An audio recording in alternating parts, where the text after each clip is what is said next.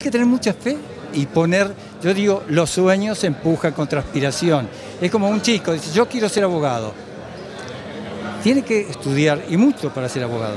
Eh, la abogacía no va a llegar sola, va a llegar con el esfuerzo de él, pero es, posible con el esfuerzo, ¿no es cierto? El último sueño, de todo lo que soñé, se cumplieron todos menos uno, que fue ir al espacio. Yo creí que iba a ir al espacio.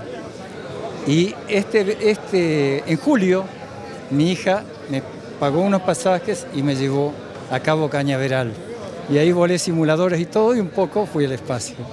Y de los que se cumplieron en realidad, nos elegiría uno para compartir. sí, que no lo dije hoy.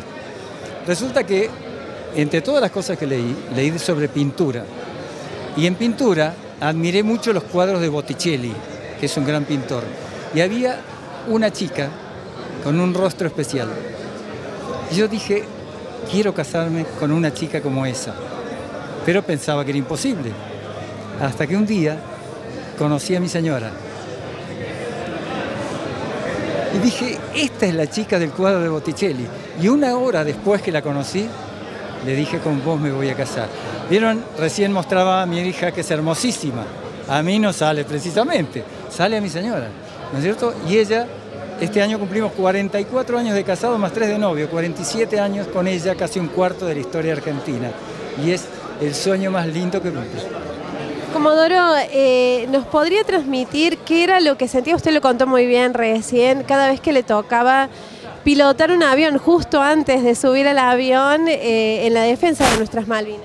Eh, yo tenía mucho miedo antes de despegar, después ya no, pero eh, era mucho miedo, temblaba, temblaba mucho. Eh, nosotros tenemos muchas cadenitas, cositas, bueno, parecía no sé, una matraca, yo como temblaba, ¿no? Cuando iba subiendo el avión, eh, cerraba la cabina, todo llegaba, y en el momento que despegaba la rueda del avión se me pasaba, pero el miedo previo era mucho. Y después yo tengo una grabación mía, el 25 de mayo, que digo, mire Rin que atrás todavía nos están tirando, pero como quien dice, algo simple, y nos estaban tirando desde dos fragatas poderosísimas. En esto de reconocer a quienes lucharon por nuestras Malvinas, eh, un reconocimiento que llegó tarde y que creo que nunca fue suficiente, hay una parte de los excombatientes que ha, pasa- ha llevado la peor parte, que es la- los que estaban en tierra. Bueno, eh, el que está en tierra sufre no solo el ataque inglés, sino el frío, la lluvia, los pies de trinchera y demás. De los dos bandos, también de los ingleses, ¿no? Entonces, eh, es un... eh, por ejemplo, hay un, un oficial del ejército se llama Castañeto, que era comando, y él decía esto, el dolor y el sacrificio del hombre que está en tierra. Entonces, merecen un reconocimiento especial. Merecen un reconocimiento especial.